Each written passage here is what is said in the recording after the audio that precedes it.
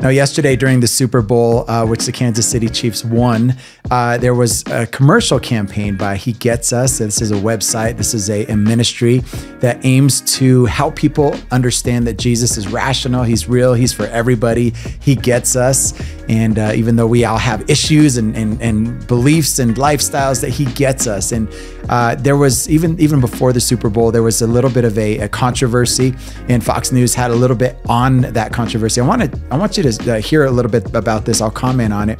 Uh, but check this out because this was uh, already controversial even before it happened.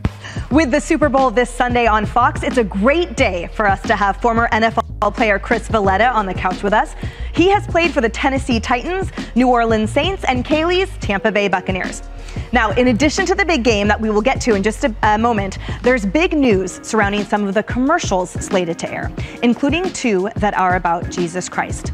They're a part of the He Gets Us campaign. So, just uh, if, if you missed the Super Bowl, there were two advertisements, and I heard this year that they're about seven and a half million dollars per commercial. I don't know if that is depending on how long they are, the seconds, but anyway, there was two of these. So this is an organization, a ministry that's well funded. Now it's backed by a nonprofit group that bills itself as aiming to reintroduce people to the Jesus of the Bible. Ads like this one will air during the. So again, we're going to watch this ad, but it's aiming towards helping people understand the Jesus of the Bible, not what people perceive him to be, but the Jesus of the Bible, the real Jesus. Let's check this out. Big game. Watch. I'll prepare a feast and bring them together, he thought. But some refused to join him. He was heartbroken because he wanted everyone to be filled, not with food and wine, but with compassion. But just saying the word Jesus is riling up some people on social media. She's so right. I, I, you could say God, you could say the big guy upstairs, but if you say Jesus, that is the word that everybody trembles over, right? Or, or has controversy with or has issue with. But it's okay to say, God's good or, or the man upstairs. Uh, let's keep listening. One person tweeting, Glad I'm an atheist. Others calling the ads cringe personified and are using religious freedom as an excuse to hate and discriminate. Chris, there certainly was a backlash that we've seen on social media. What are your thoughts? Well, I, I think this is symbolic of probably, arguably, the greatest cultural erosion in the history of our country. I, I feel like when you look at the numbers, uh, we just dropped below 50% for the first time in terms of Americans' membership in houses of worship.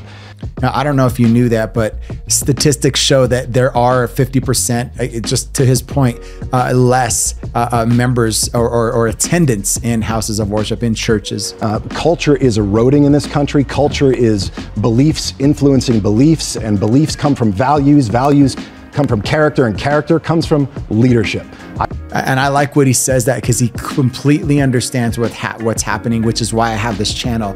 Is that beliefs come from from values, and values come from influence, and influence comes from leadership, and the leaders that we have, the people who influence the most uh, amount of, of, of, the masses, if you will, on social media, on television, in movies, um, they will say something for or against Jesus, correct or incorrect and what they say shapes our culture, what they say influences. So all these tweets that we see from people who have all this influence that say this is cringe or this is uh, Christianity um, uh, judging again, they they hear this without ever investigating the Bible, and then they have this opinion about Jesus, which just isn't true. Which is why this website, as far as I can tell, he gets us is so so important. I've got seven and ten year old boys. I choose to lead them to help shape their character and know that there is a God who loves them, that love, joy, peace, patience, kindness, gentleness, self control, faithfulness, these are good things. And guess what? Those are things that Jesus did put out.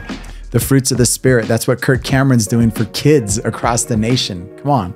And I think those are virtues and values that we need to build in this country, not tear down, and certainly have the freedom of expression to put them out in the wide open as we should. Amen. Julie, part of the campaign, as I sort of touched on earlier, so he uh, definitely uh, is for the values, the fruits of the spirit, and and is angry that these uh, commercials are already have have controversial. There's they're tweeting about them. They're really uh, it's crazy, right? I want to play one of the commercials, and I know that the teaser showed you, or or the clickbait, if you will. I want to play one of the ones that they played during the Super Bowl. Comment on that and kind of tie it up with some encouragement for you. Um, let, let's check this out.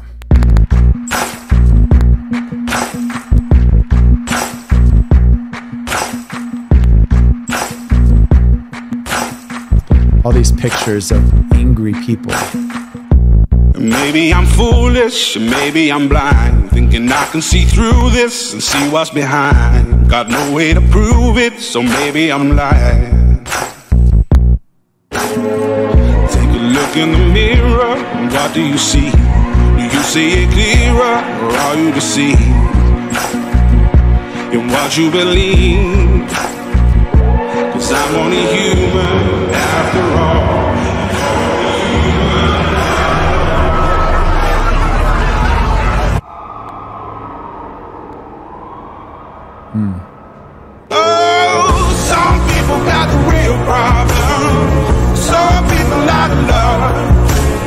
That is so powerful. Like I got the chills when it says Jesus loves the people that we hate. That's so true that that that we have all this division in our world. We have all this controversy in our world. We have all these people with a bad perspective, a wrong perspective of Jesus. And, and we have all these opinions about everything.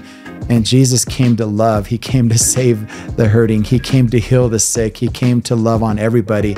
And I just want to tell you, if you clicked on this video, he loves you and he's not judging. He's not, he's not after you to, to, to chastise you, to send you to hell. He's after you because he loved you. And I want you to remember this that if you uh, can get past your mind, if you could understand that we have a creator and the creator has a purpose, and when we stray from the purpose, we come up with all kinds of things. Like people want to know why is there so much controversy? Why is there so many opinions? Why is, are there so many religions? Why do some people get extreme? And why do some people hate religion and hate God? And it, it's really a big rebellion that we have against Him. And, and this idea that that we because God loves us, because He says, uh, I love you, and because um, I love you, I'm going to give you a choice, right? Your choice is that you can love Him or you cannot. You can love Him, you could choose to, which He wants to, or you could choose to um, to do your own thing, right? And so when we choose to do our own thing, we come up with our own ways. When we come up with our own ways, we come up with our own values. We come up with our own assumptions. We come up with our own reasoning as to how the world came, how the world came into existence, how we got here, what we are for, what our sexuality should be like, and, and all of the above. And then we end up with all this craziness in the world. And then you tie that with sin uh, that is eroding our world, which is why we have earthquakes and tsunamis and, and hurricanes and natural disasters all over the world, because the Bible talks about that, right?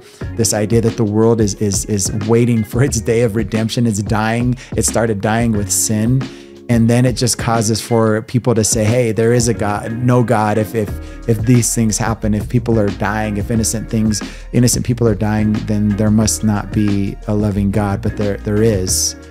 And he gets you more than you realize.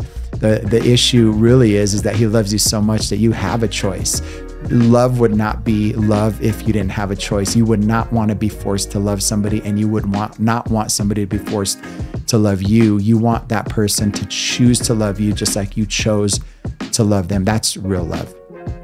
And this is what people are this is what this organization is all is trying to say that he gets us. He gets why you're angry. He gets why you're mad. He gets why you've tried all these different ways of life. But at the end of the day, because he understands you, you should turn to him and you should give him a chance because he loves you. We'll see you on the next one.